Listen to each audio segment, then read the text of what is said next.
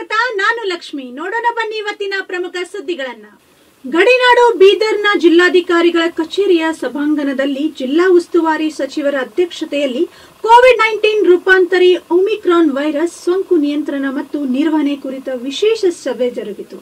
ಬೀದರ್ ಜಿಲ್ಲಾ ಉಸ್ತುವಾರಿ ಸಚಿವರಿಂದ ಜಿಲ್ಲಾಧಿಕಾರಿ ಕಾರ್ಯಾಲಯದಲ್ಲಿ ಕೊರೋನಾ ಸಭೆ. ಗಡಿನಾಡು ಬೀದರ್ನ ಜಿಲ್ಲಾಧಿಕಾರಿಗಳ ಕಚೇರಿಯ ಸಭಾಂಗಣದಲ್ಲಿ ಪಶುಸಂಗೋಪನೆ ಇಲಾಖೆ ಮತ್ತು ಜಿಲ್ಲಾ ಉಸ್ತುವಾರಿ ಸಚಿವ ಪ್ರಭು ಚೌಹಾಣ್ ಕೋವಿಡ್ ನೈನ್ಟೀನ್ ರೂಪಾಂತರಿ ಒಮಿಕ್ರಾನ್ ವೈರಸ್ ಸೋಂಕು ನಿಯಂತ್ರಣ ಮತ್ತು ನಿರ್ವಹಣೆ ಕುರಿತು ವಿಶೇಷ ಸಭೆ ನಡೆಸಿದ್ರು. ಸಭೆಯಲ್ಲಿ ಸಚಿವರಿಗೆ ಸಮರ್ಪಕ ಮಾಹಿತಿ ನೀಡದ ಅಧಿಕಾರಿಗಳನ್ನ ತರಾಟೆಗೆ ತೆಗೆದುಕೊಂಡರು. ಸಭೆಗೆ ಬಂದ ಬ್ರಿಮ್ಸ್ ನಿರ್ದೇಶಕ doctor Chandrakant Chillargi, DHO doctor Ratikant Swami ಹಾಗೂ ಇತರೆ ಇಲಾಖೆಯ ಅಧಿಕಾರಿಗಳು ಸಭೆಯಲ್ಲಿ ಸುಳ್ಳು ಮಾಹಿತಿ ನೀಡಿದ ಹಿನ್ನೆಲೆ ಅಧಿಕಾರಿಗಳ ಮೇಲೆ ಸಚಿವರು ಗರಂ ಆಗಿದ್ರು. ಈ ಸಭೆಯಲ್ಲಿ ಶಾಸಕ ಬಂಡೆಪ್ಪ ಕಾಶಂಪುರ್, ಎಂಎಲ್ಸಿ ಅರವಿಂದ್ ಕುಮಾರ್, ಅರಳಿ, ಜಿಲ್ಲಾಧಿಕಾರಿ Ramachandran R, SP DL Nagesh ಸೇರಿದಂತೆ ಹಲವು ಅಧಿಕಾರಿಗಳು ಭಾಗಿಯಾಗಿದ್ರು.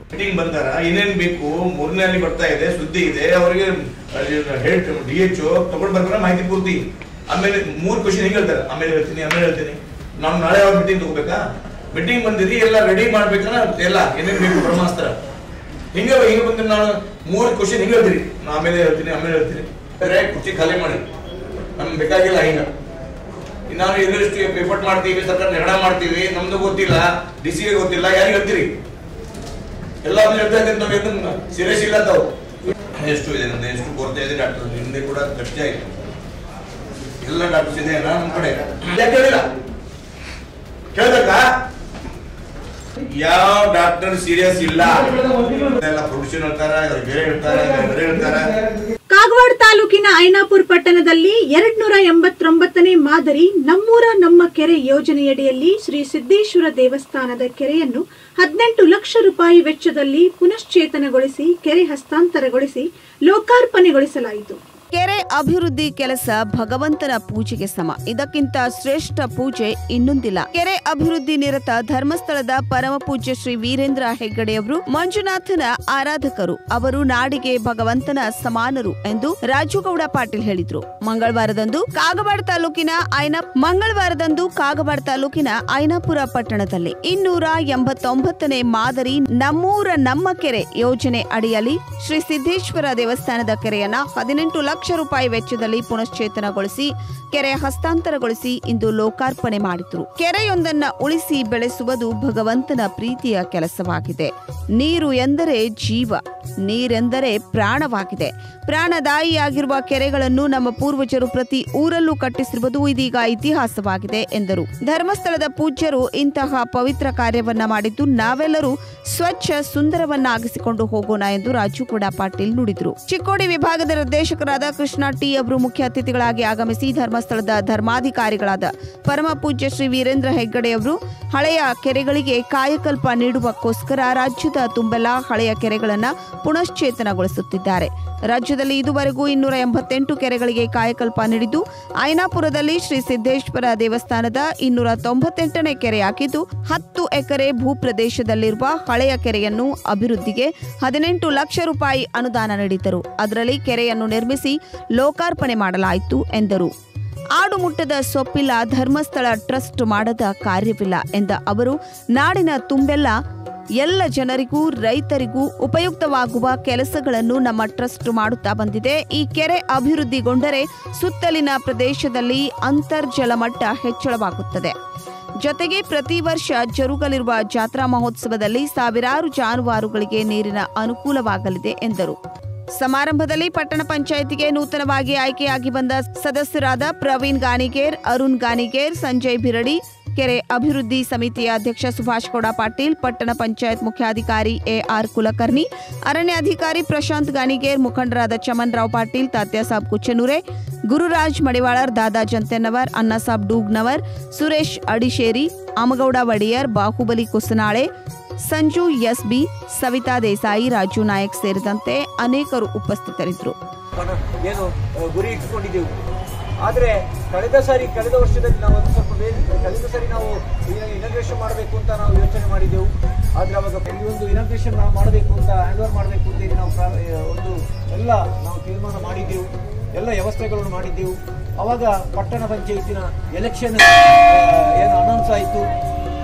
ನೀತಿ ಸಂಹಿತೆ ಜಾರಿಯಾಯಿತು ಅದರಿಂದ ನಮಗೆ ಆ ಕಾರ್ಯಕ್ರಮವನ್ನು ಮತ್ತೆ ನಾವು ಮಾಡಬೇಕಾಗಿದೆ ಇವತ್ತು ಸರ್ಕಾರದ ನಿಯಮಗಳನ್ನು ನಾವು ಕಟ್ಟುನಿಟ್ಟಾಗಿ ನಾವು ಇವತ್ತು ಪಾಲಿಸಬೇಕಾದಂಥ ಒಂದು ಅನಿವಾರ್ಯತೆ ನಮಗೆ ಬಂದು, ಬಂದೊದಗಿರುವುದರಿಂದ ಇವತ್ತು ನಾವು ಒಳಗೆ ಮಾಡಬೇಕಾದ ಸಿದ್ದಯ್ಯ ಹಿರೇಮಠ್ ಸತ್ಯಂ ನ್ಯೂಸ್ ಕಾಗವಾಡ್. ಮೇಕೆದಾಟು ಪಾದಯಾತ್ರೆಗೆ ಕನಕಪುರಕ್ಕೆ ಆಗಮಿಸಿದ ವಿರೋಧ ಪಕ್ಷದ ನಾಯಕ ಸಿದ್ದರಾಮಯ್ಯ ಹಾಗೂ ಕೆಪಿಸಿಸಿ ಅಧ್ಯಕ್ಷ ಡಿಕೆ ಶಿವಕುಮಾರ್ ಅವರಿಗೆ ಕನಕಪುರ ಕಾಂಗ್ರೆಸ್ ವತಿಯಿಂದ ಅದ್ದೂರಿ ಸ್ವಾಗತ ಕೋರಲಾಯಿತು. ಮೇಕೆದಾಟು ಪಾದಯಾತ್ರೆಗೆ ಕನಕಪುರಕ್ಕೆ ಆಗಮಿಸಿದ ವಿರೋಧ ಪಕ್ಷದ ನಾಯಕ ಸಿದ್ದರಾಮಯ್ಯ ಕೆಪಿಸಿಸಿ ಅಧ್ಯಕ್ಷ ಡಿಕೆ ಶಿವಕುಮಾರ್ ಅವರಿಗೆ ಅದ್ದೂರಿ ಸ್ವಾಗತ ಕೋರಲಾಯಿತು.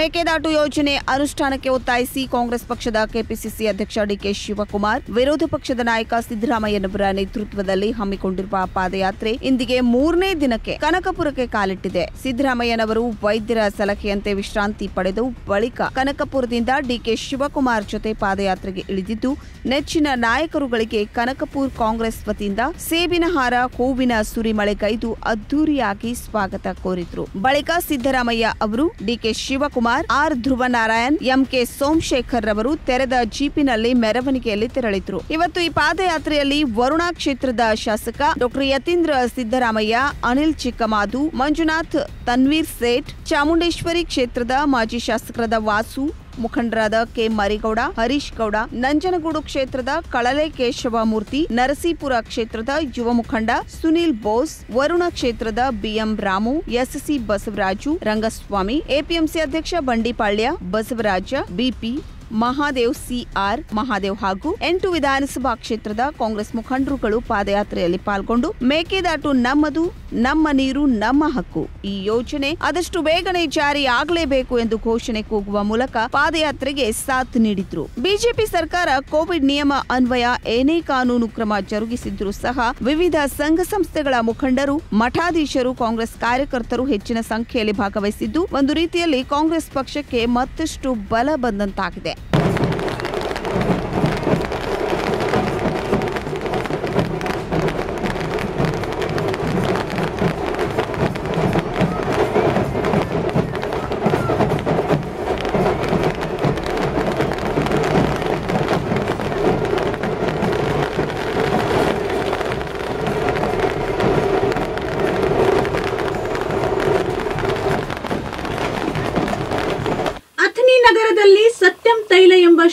ನೈಸರ್ಗಿಕ ಶೈಲಿಯಲ್ಲಿ ಉತ್ಪಾದಿಸಿದ ಗಾನದ ಎಣ್ಣೆ ಮತ್ತು ಮಾರಾಟ ಮಳಿಗೆ ಉದ್ಘಾಟನಾ ಸಮಾರಂಭ ನೆರವೇರಿತು.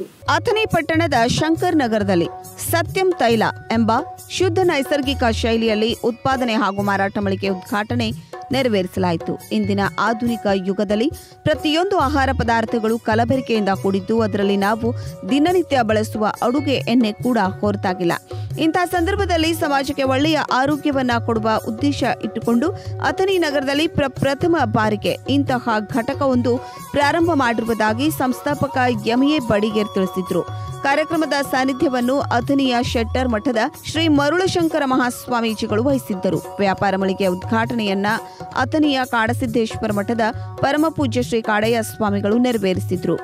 ಅತಿಥಿಗಳಾಗಿ ಚಿಕ್ಕಟ್ಟಿ ಶಿಕ್ಷಣ ಸಂಸ್ಥೆಯ ಸುರೇಶ್ ಚಿಕ್ಕಟ್ಟಿ ಎಂಆರ್ ಪೂಜಾರಿ, ವಿಠಲ್ ಬಡಿಗೇರ್, ಚನ್ನಪ್ಪ ಬಡಿಗೇರ್, ಎಸ್ಪಿ ಪಿರಗೊಂಡ ಉಪಸ್ಥಿತರಿದ್ದರು. ಮಹಾಗಣಪತಿ ಮತ್ತು ಸರಸ್ವತಿ ಲಕ್ಷ್ಮೀ ಪೂಜೆ ನೆರವೇರಿಸುವುದರೊಂದಿಗೆ ಮಳಿಗೆಯ ಪ್ರಾರಂಭೋತ್ಸವವನ್ನು ಮಾಡಲಾಯಿತು. ಕಾರ್ಯಕ್ರಮದಲ್ಲಿ ಹುದ್ದಾರ್ ಶಿಕ್ಷಣ ಸಂಸ್ಥೆಯ ವಿಜಯ್ ಹುದ್ದಾರ್ ಜಯಶ್ರೀ ಪೂಜಾರಿ ಎಸ್ಎಸ್ ಗೋಜನಾಳ್ ಸಂಜೀವ್ ಕುಲಕರ್ಣಿ ಶಿವಾನಂದ್ ಕಂಚಗಾರ್ ಪರಶುರಾಮ್ ನೆಕ್ಕಂ ಮುಂತಾದವರು ಹಾಜರಿದ್ದರು.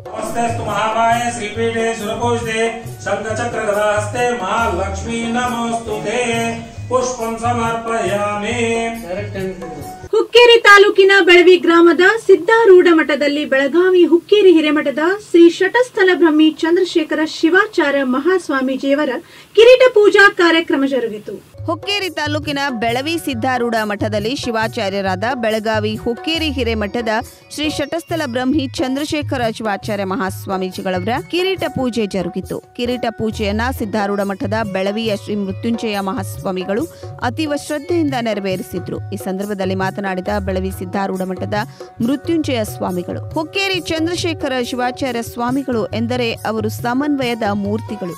ಸಿದ್ಧಾಂತ ಶಿಖಾಮಣಿಯನ್ನ ಯಥಾವತ್ತಾಗಿ ಹೇಳುವ ಪರಮ ಪೂಜ್ಯರು. ವಚನ ಶಾಸ್ತ್ರವನ್ನು ಕೂಡ ಭಕ್ತರಿಗೆ ಬೋಧಿಸುತ್ತಾರೆ. ನಿಜಗುಣರ ಶಾಸ್ತ್ರವನ್ನು ಹೇಳುತ್ತಾರೆ. ಇವರ ಉದ್ದೇಶ ಇಂತಹ ಎಲ್ಲ ತತ್ವಗಳ ಸಾರ ಒಂದೇ ಎಂದು.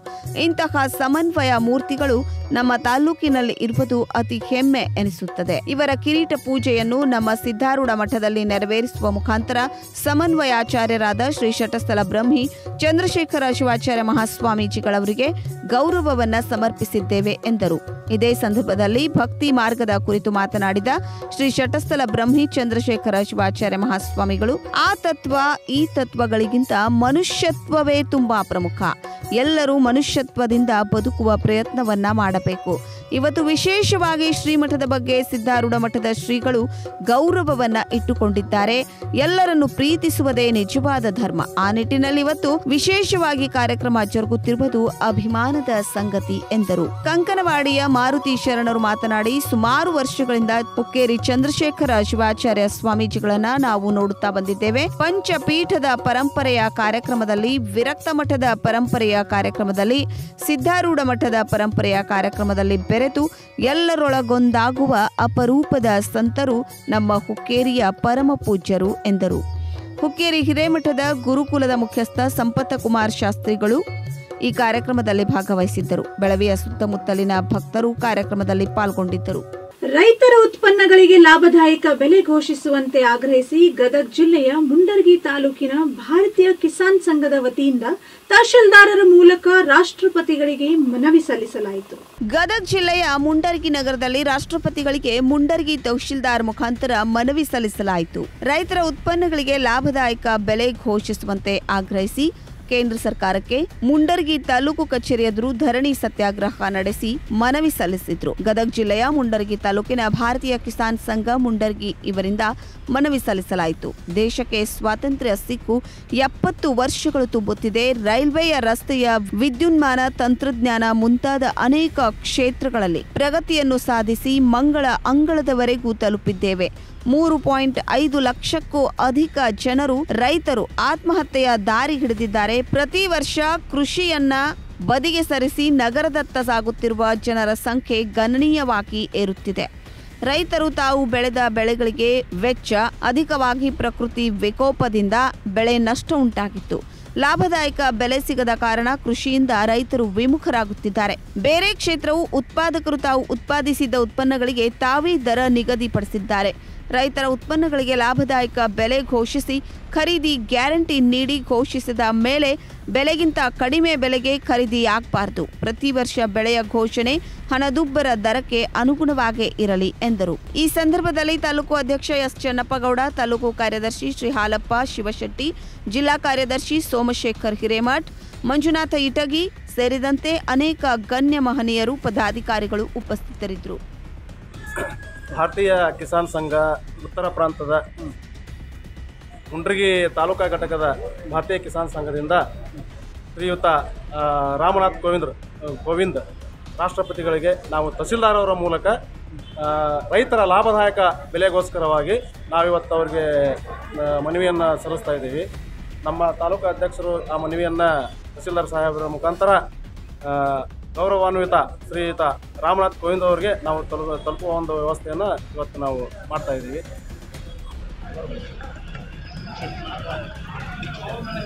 ಕೋವಿಡ್ ನೈನ್ಟೀನ್ ಸಂಬಂಧಪಟ್ಟಂತೆ ಸರ್ಕಾರ ತನ್ನದೇ ಆಗಿರ್ತಕ್ಕಂಥ ಇವತ್ತು ಜನಸಾಮಾನ್ಯರ ಆರೋಗ್ಯ ದೃಷ್ಟಿಯಿಂದ ಸಾಕಷ್ಟು ನಿಯಮಗಳನ್ನು ಜಾರಿಗೆ ತರ್ತಾ ಇದೆ. ಅದನ್ನೇ ಯಾವುದೇ ಪಕ್ಷ, ಭೇದ ಭಾವ ಇಲ್ಲದೇ ಎಲ್ಲರೂ ಒಟ್ಟಾಗಿ ಆ ನಿಯಮಗಳು ಸರ್ಕಾರದ ನಿಯಮ ಅಂದ್ರೆ ಅದು ನಮ್ಮ ನಿಯಮ ಇದ್ದಂತೆ. ಈಗ ಆ ನಿಯಮಗಳನ್ನು ಪಾಲನೆ ಮಾಡ್ತಕ್ಕಂಥವ್ರು ಪ್ರತಿಯೊಬ್ಬರು ನಾವುಗಳು ಶ್ರೀ ಕ್ಷೇತ್ರ ಧರ್ಮಸ್ಥಳ ಗ್ರಾಮಾಭಿವೃದ್ಧಿ ಯೋಜನೆ ಬಿಸಿ ಟ್ರಸ್ಟ್ ಚಿಕ್ಕೋಡಿ ವತಿಯಿಂದ ಕಬ್ಬೂರ್ ಗ್ರಾಮದಲ್ಲಿರುವ ಶ್ರೀ ಭೂತಾಳ ಸಿದ್ದೇಶ್ವರ ಗುಡಿಯ ಸ್ವಚ್ಛತಾ ಕಾರ್ಯಕ್ರಮ ಜರುಗಿತು. ಶ್ರೀ ಕ್ಷೇತ್ರ ಧರ್ಮಸ್ಥಳ ಗ್ರಾಮಾಭಿವೃದ್ಧಿ ಯೋಜನೆ ಬಿಸಿ ಟ್ರಸ್ಟ್ ಚಿಕ್ಕೋಡಿ ಕಬ್ಬೂರ ವಲಯದ ವತಿಯಿಂದ. ಚಿಕ್ಕೋಡಿ ತಾಲೂಕಿನ ಕಬ್ಬೂರ್ ಗ್ರಾಮದಲ್ಲಿರುವ ಶ್ರೀ ಭೂತಾಳ ಸಿದ್ದೇಶ್ವರ ಗುಡಿಯ ಸ್ವಚ್ಛತಾ ಕಾರ್ಯಕ್ರಮ ಜರುಗಿತು. ಸ್ವಚ್ಛತಾ ಕಾರ್ಯಕ್ರಮದಲ್ಲಿ ಸಂಘದ ಸದಸ್ಯರು ಮತ್ತು ಗುಡಿಯ ಆಡಳಿತದವರು ಹಾಗೂ ಸಂಘದ ಮೇಲ್ವಿಚಾರಕರಾದ ನಿಂಗಪ್ಪ ಮತ್ತು ಸೇವಾ ಪ್ರತಿನಿಧಿ ಸವಿತಾ ಪೂಜೇರ್ ಸೇರಿದಂತೆ ಇತರರು ಸ್ವಚ್ಛತಾ ಕಾರ್ಯಕ್ರಮದಲ್ಲಿ ಭಾಗಿಯಾಗಿದ್ದರು. ಇವಿಷ್ಟು ಇವತ್ತಿನ ಪ್ರಮುಖ ಸುದ್ದಿಗಳು. ನಿರಂತರ ಸುದ್ದಿಗಾಗಿ ನೋಡ್ತಾ ಇರಿ. ಸತ್ಯಂ ಟಿವಿ ಕನ್ನಡ, ನಮ್ಮ ನಡೆ ಸತ್ಯದ ಕಡೆ.